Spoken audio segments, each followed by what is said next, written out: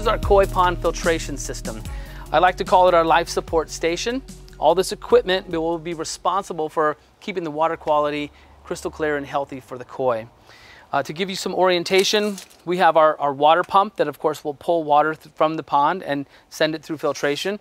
We have uh, an air pump on here. We'll actually have two on this particular installation. One is currently on uh, Rosemary's temporary pond. We have a biological filter. It's a slow flow filter for trapping particulate. And then we have our UV filter as well. Um, one thing I want to point out is I, I have all these pipes stubbed out here, but nothing's glued at this moment. We have everything just roughed in, as I like to say. And uh, the reason for that is each pond is a little bit different. So I find that each life support station might change just slightly because sometimes I have two water pumps and, and one air pump. And, um, you know, I might have to change things around just to get the water back to the pond the way I want it to. So uh, we take the time to put our little signature to it each time. At this point, I'll start to um, get in there and, and make some glue connections and start bringing in, tying in all the lines together from the pond. Okay, so we're on the inlet side of our pond filtration system. We have these two lines are coming through. One is connected to the skimmer and one's connected to the settlement tank. Now each one of these lines are going to tie in to the, the front of the pump. And I have a three-way valve here that will help me control flow from, from either way. So I can fine tune exactly how much water I want from my skimmer or my settlement tank. So as the water comes through the pump, um, I'm doing a, a, a quick jump right here and the heavy flow is going to be moving straight back towards the waterfall and I have a filter over there as well. So this is our waterfall uh, section for filtration.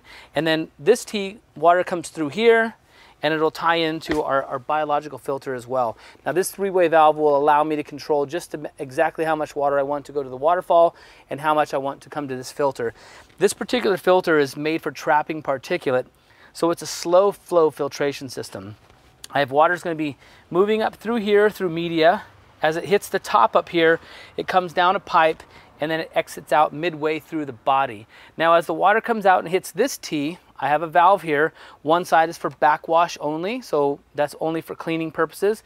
But under normal operation, the water is gonna come back through here, up through the UV, and then this whole section is, is taking it away from the pond. So this is returning to a jet, this is returning to backwash to the landscape, and this one's returning to the waterfall. So that kind of gives you the orientation of the way we have it all set up.